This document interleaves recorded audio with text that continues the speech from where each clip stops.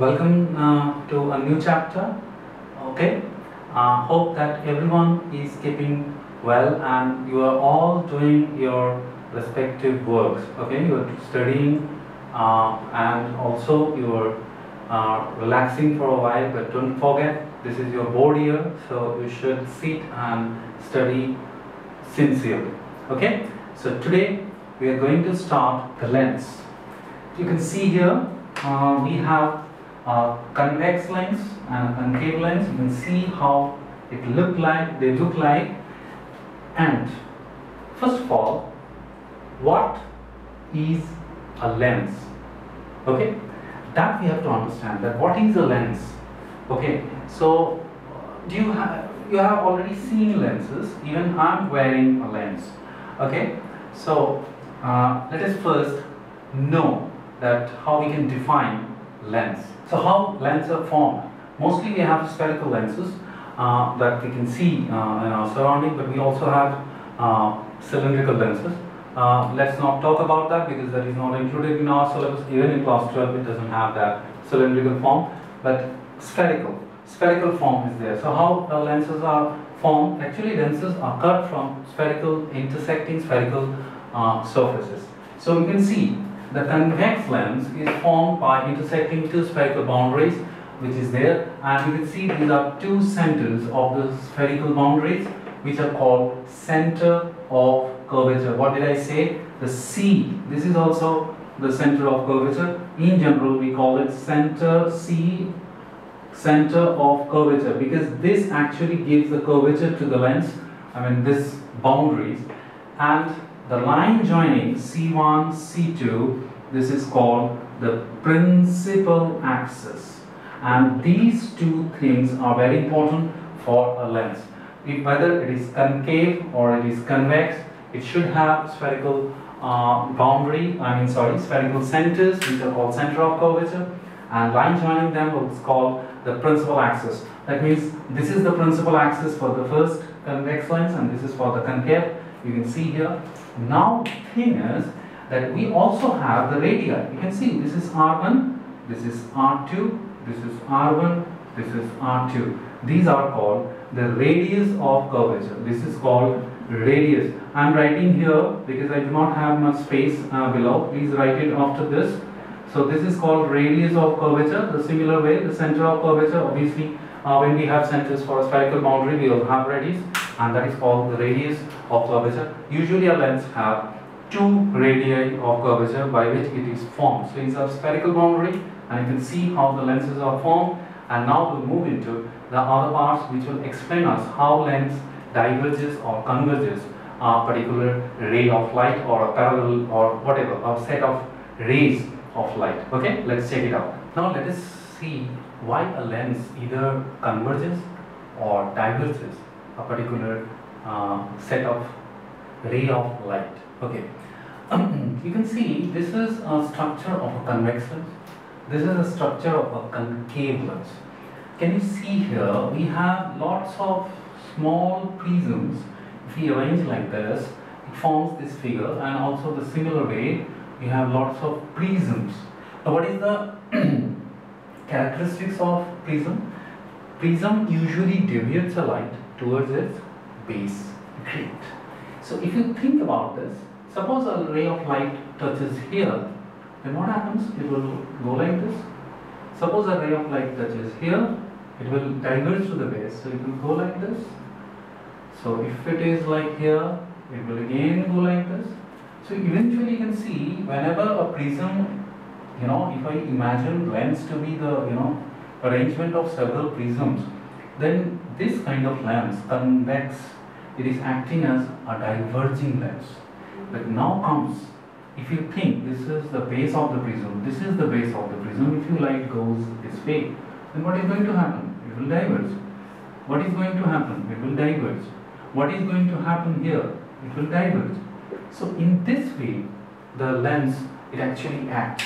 So either we can imagine lens to be, uh, you know, small prisms constructed on a particular pilewise and then we can observe the divergence or convergence of the set of rays of particular light and then it will convex lens will be working as a convergent converging lens and concave will act as a diverging lens. We'll come to know about more of this kind of topics a bit for later. Okay.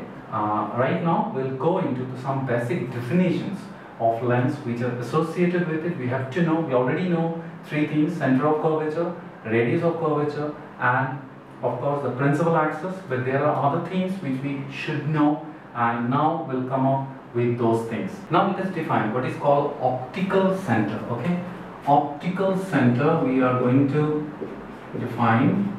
Uh, we have to define this in two ways. Okay, the first fall is that if you take um, a thick lens that we usually use then suppose if a ray of light is going through and when it is finally coming out from the lens, it is parallel. I mean this ray and this ray. If you see the trace of the this ray will be like this. So these two lines are parallel. So if they go parallel, the trace of the ray through the lens, I mean you can understand there will be refractions here. So this stress will intersect the principal axis at a fixed point which is called the optical center of the lens.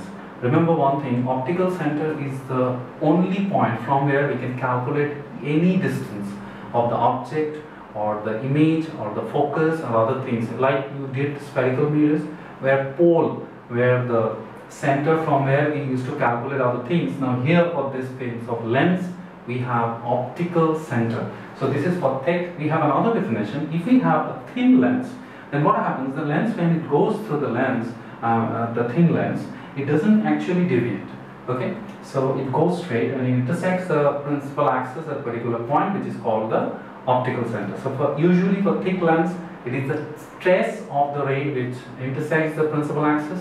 And for the thin lens, it is the actual path of the light ray which will inter intersect the principal axis which is known as the optical center. Don't forget, we have a universal identifier like for spherical mirrors the pole where P and for this it is O, optical center, so it is O. So now let's move to other important parts of lens which we should know. Okay.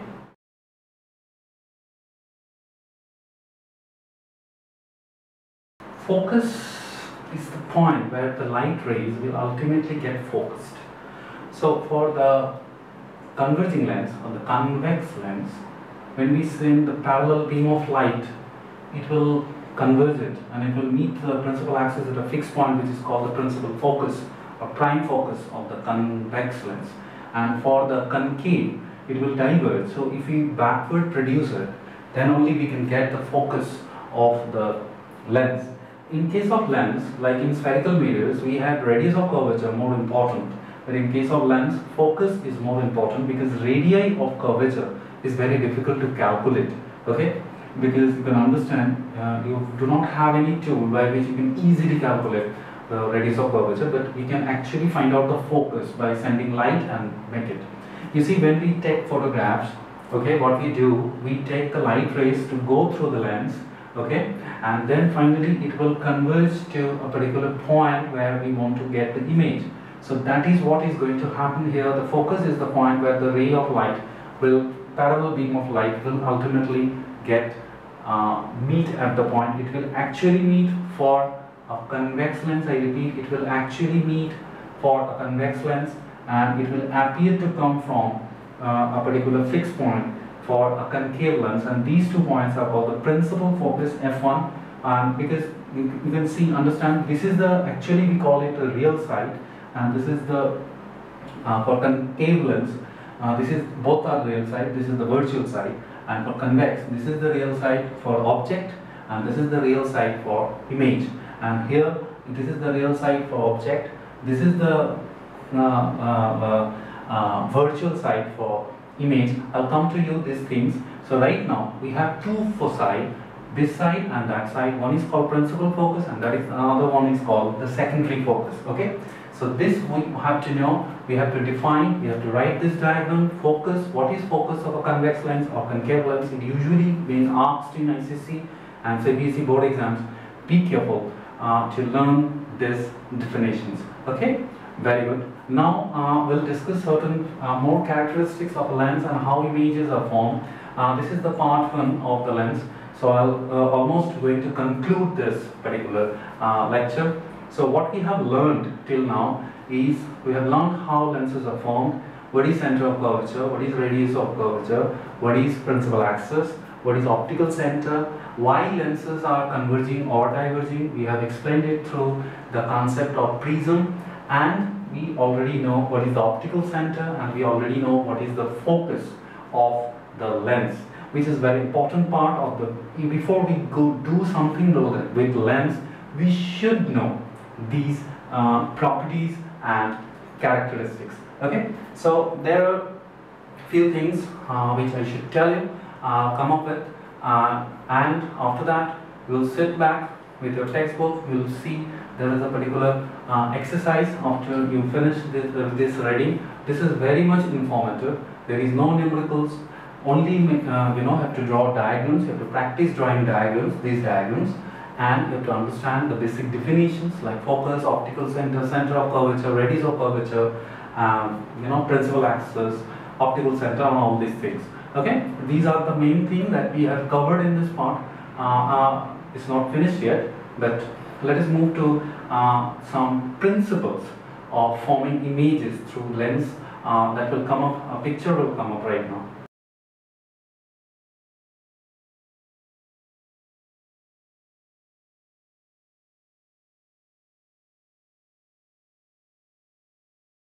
So we have completed the first part of lens. We have understood how lens works. Uh, it's based on refraction, but uh, it has certain other characteristics that we have already uh, understood. I hope. Uh, if you have any doubt, please uh, send me your doubts in my WhatsApp number, uh, even in the group. Okay, we have the group. I'll clarify your doubts definitely, or else we'll have a scheduled doubt clearing sessions that we usually do, or the classwork or classwork sessions. Then also you can ask me doubt in the group so that I can answer your questions while writing the classwork. You can send me your doubts. I can uh, by the time you finish up your classwork, I can reply back to your doubts. Don't forget to read this thing, okay? I've already completed the first part of the lens. The second part will come up uh, after a few days, which is image formation by lens, and this is very important for uh, your board exam. And that is the next part, the image formation by concave and convex lenses, and that will come up in the next part, okay? So now you see your part, what you have to do? You have to sit with the exercise, the first part. You have to complete the question answers. Only question answers are there. Especially there are a lot of diagrams. You should practice these diagrams because it will help you. And do remember the picture that came up right now. Uh, whatever uh, instructions are given, those are very important for the next part. Okay, so till then, bye bye. Stay safe, stay productive, and don't forget to sit with your textbooks and complete these sections. Okay. Till then, this is Arijit Ray and wishing you all the best and bye-bye.